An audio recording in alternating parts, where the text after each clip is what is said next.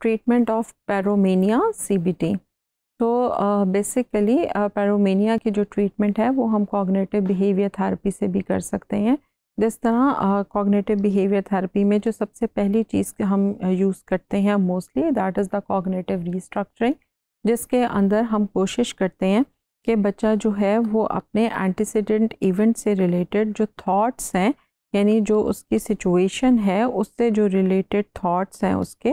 उनको वो आइडेंटिफाई करे। और जब वो उनको आइडेंटिफाई करेगा तो इन थॉट्स के ऊपर हम काम करेंगे। ये जो थॉट्स हैं, जिसके अंदर हम डिफरेंट किस्म के उनके कॉग्नेटिव एरर्स को आइडेंटिफाई करने की कोशिश करेंगे कि कौन से ऐसे कॉग्नेटिव एरर्स हैं जो उनको लीड करते हैं कि वो जाकर फायर सेट करें। तो ये जो थॉट पैटर्न है, इसको हम आइडेंटिफाई करने के बाद और फिर इसकी मॉडिफिकेशन के बाद, यानी अनहेल्दी जो उनके थॉट पैटर्न है, उनको हेल्दी थॉट पैटर्न के साथ चेंज करने के बाद जो कॉन्सिक्वेंसेस हैं, उनमें हम किसी किस्म की चेंज ला सकते हैं। तो फ़र्स्ट थिंग हम उनके साथ कॉग्नेटिव रिस्ट्रक्चरिंग कर सकते हैं देन हम उनके साथ कॉग्नेटिव सेंसिटाइजेशन यूज़ कर सकते हैं। कॉग्नेटिव सेंसिटाइजेशन का मतलब ये होता है कि हम उन्हें कहते हैं कि वो जहन के अंदर, अपने जहन के अंदर सोचें कि क्या इवेंट्स हो रहे हैं और उनके अंदर, उनके वजह से किस किस किस्म की जो है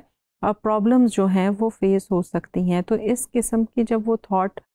सोचेंगे और वो उनके कॉन्सिक्वेंसेस को इमेजिन करेंगे तो slightly they will get the awareness और वो फिर ये देखेंगे कि उनके कितने उस बिहेवियर की वजह से कितना कॉस्ट पे करना पड़ रहा है डिफरेंट uh, लोगों को तो definitely that helps them to lower down their desire to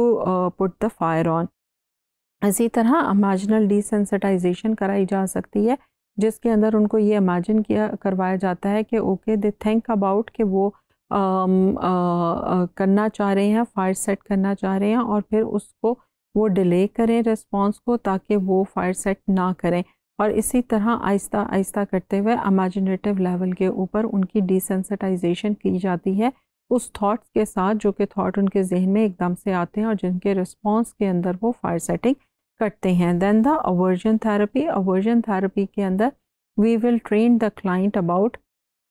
कि अगर वो फायर सेटिंग करना चाहता है और उसको जो आ, उसकी स्मेल है उससे उसको बहुत ज़्यादा कंफर्ट मिलता है तो हम उसको ये सिखाते हैं कि ओके, उसको एसोसिएट कर ले किसी बैड स्मेल के साथ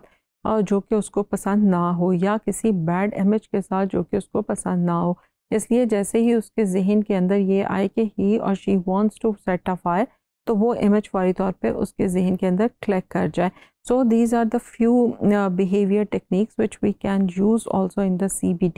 क्योंकि कॉग्नेटिव बिहेवियर थेरेपी के अंदर हम कॉग्नेटिव प्लस बिहेवियर थेरेपीज़ जो हैं वो हम यूज़ करते हैं। तो ये अगर हम मेथड्स डिफरेंट अप्लाई करें तो it help the child to control the